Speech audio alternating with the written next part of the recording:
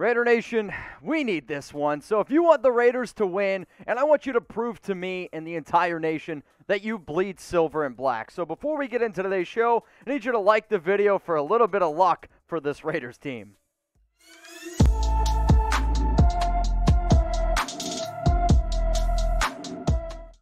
Raider Nation, what's going on? You guys are watching the Raiders Report, and today's show presented by Black Sunday Shop. We're talking about Raiders gear up to 70% off. All you got to do is head over to blacksundayshop.com and make sure you use code Mitch if you want a free Raiders pin at checkout. Coming up here on today's show, we're going to be breaking down the Raiders Cowboys Week 12 game on Thanksgiving. And for those of you that don't know, this is a really important game to me because my girlfriend is a Cowboys fan and our rent is literally riding on this one.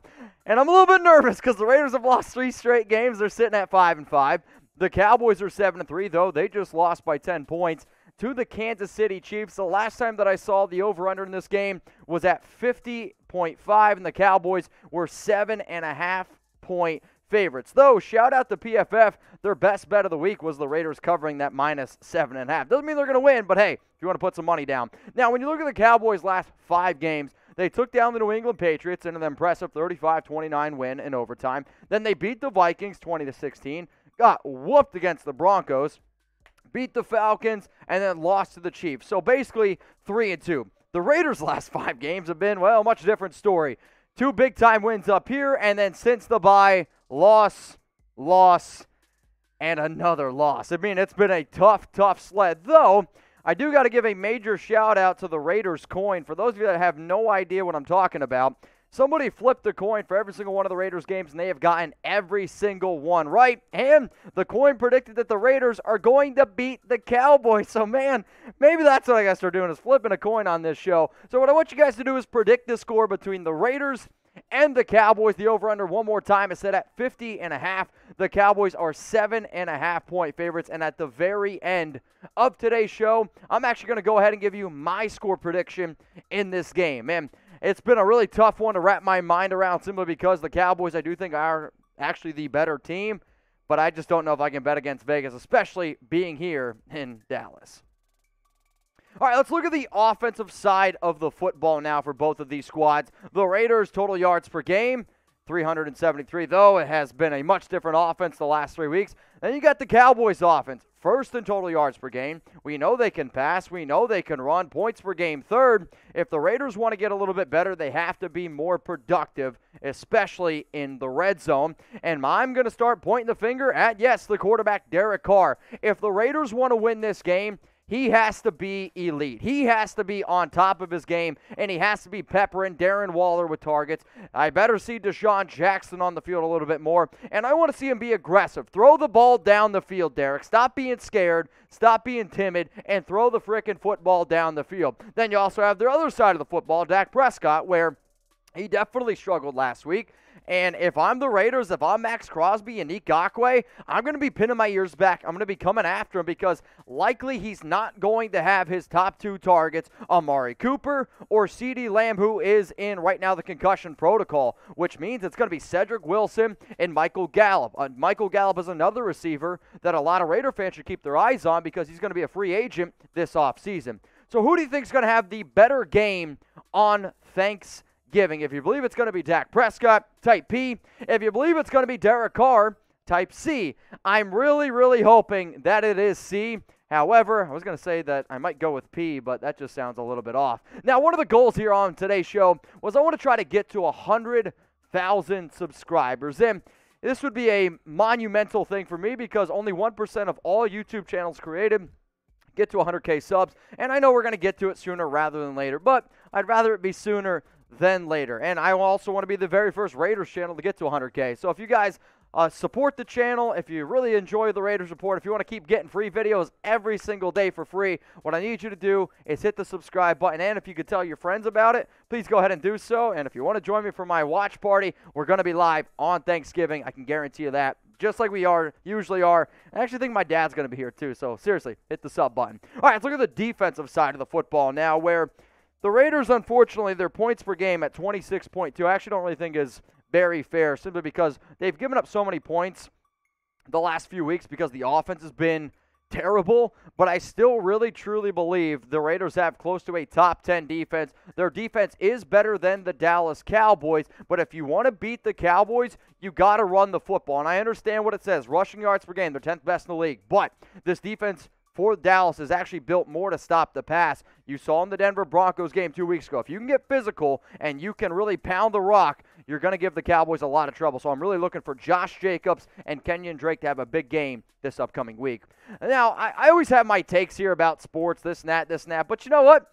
It's Thanksgiving, man. I got a lot to be thankful for. I'm excited to spend it with my dad, with my girlfriend's family. I'm hoping for a Raiders win. That would be pretty sweet. Probably would be the best dessert that I can end up getting.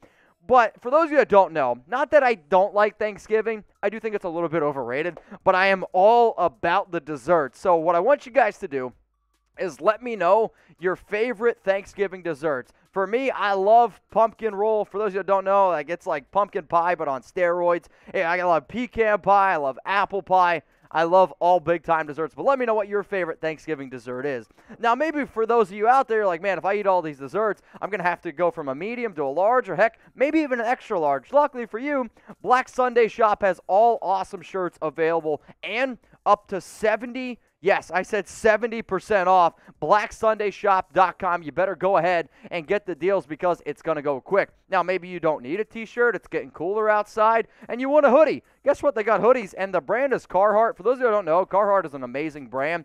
Raiders gear up to 70% off. BlackSundayShop.com. That code is going to be, or that link, excuse me, is going to be available for you all in the description and in the comments. Well, what about hats? They also have really dope hats. They got some brand new snapbacks as well. And if you want to use code Mitch at checkout, you're also going to be able to get a free pin. So that's something to definitely keep in mind. Use code Mitch to get a free pin. And I think the other cool thing that they got going on, if you spend over a $100, which some people are like, oh, wow, $100, that's a lot. If you spend over a $100, they're also going to throw in a free bandana. So you can get a free pin. You can also get a free bandana. If you want to be a big baller and spend over $200, now I'll also say this if you spend over $200, you're going to get a lot of stuff. So be ready. You can really stock some stuffing. Or wait, I always say that. Stuff some stockings. I'll get it right sooner or later. But if you spend over $200, you get a cinch bag, a bandana, and two patches, 100% free, 70% off. Shout out the Black Sunday Shop. Look at the link down there below, blacksundayshop.com.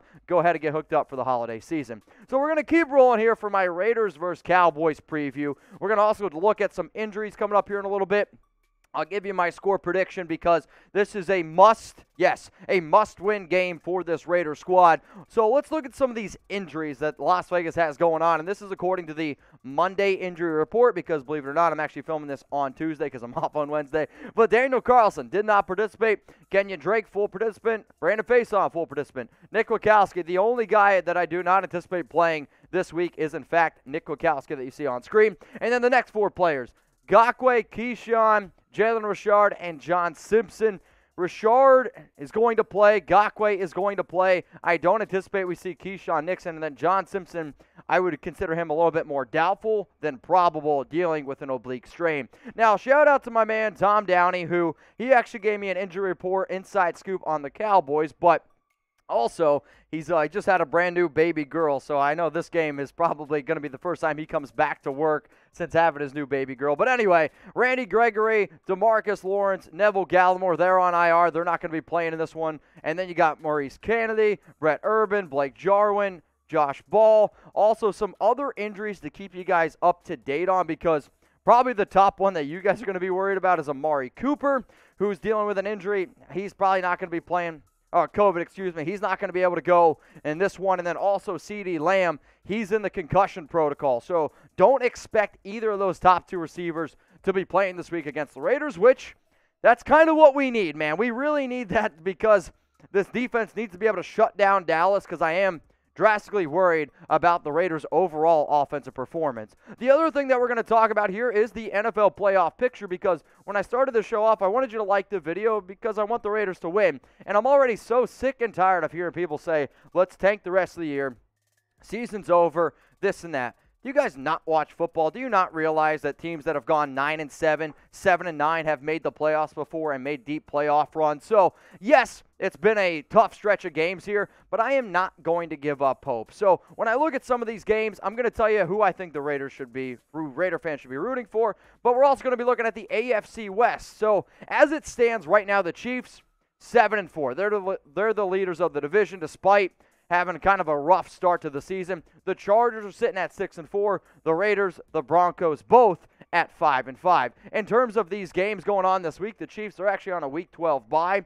Raiders up against the Cowboys, Chargers at the Broncos. If the Chargers beat Denver, they will be the new leader in the AFC West. Now, again, back to the AFC playoff picture here because a lot of times I get asked, well, what game should I be rooting for? What game should I be watching? Well, I always tell you, if you can watch as many games as humanly possible, that's what I encourage. But here are the teams that I am rooting for this week. I'm going to be rooting for the New Orleans Saints, who are home up against the Bills because the Bills have been struggling. If they lose, they might actually be falling out of that playoff picture.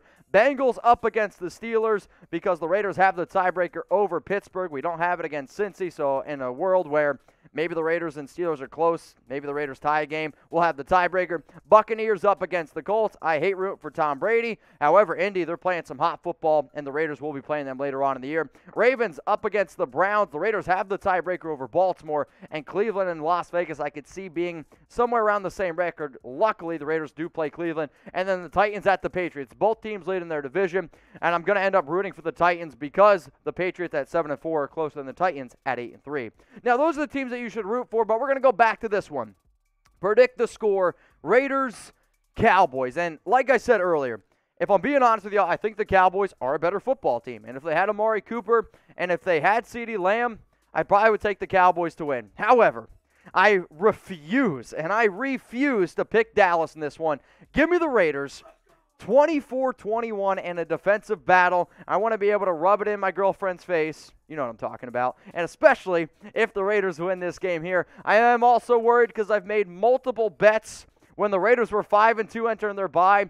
The bet that I made was if the Raiders lose this game, I got to wear a freaking Cowboys jersey. Tom's going to want me to wear it. I know my girlfriend's going to want me to wear it. I made the bet when we were 5 and 2 and I was feeling confident. Now, I don't know, man. I'm getting a little bit more nervous. So I need you guys to have my back. So if you see a picture of me with a Cowboys jersey on, it's because I made a bet. Now, hopefully that never happens. And hopefully I got to make Tom wear a Raiders jersey. I'm going to make Alex, my girlfriend, also wear a Raiders jersey. I'm going to be posting it on Twitter. I'm going to be posting it on Instagram at Mitchell Renz 365 And if anybody wants to hang out with me uh, this week, I, I, I always tell people, like, hey, I'm going to be in Dallas or I live in Dallas, and if you're coming to Dallas, then guess what? I want you to come check out an event. It's actually really close to the AT&T Stadium. I believe the address is 1010 Collins, something like that. The information is at chatsports.com slash Texas Takeover. I'm going to be hanging out with the nation. Shout out to Jeremy for getting that up on screen. Located right across the street from AT&T Stadium at 1010 Collins Event Center. Come hang out with me. Come out, hang out with the nation.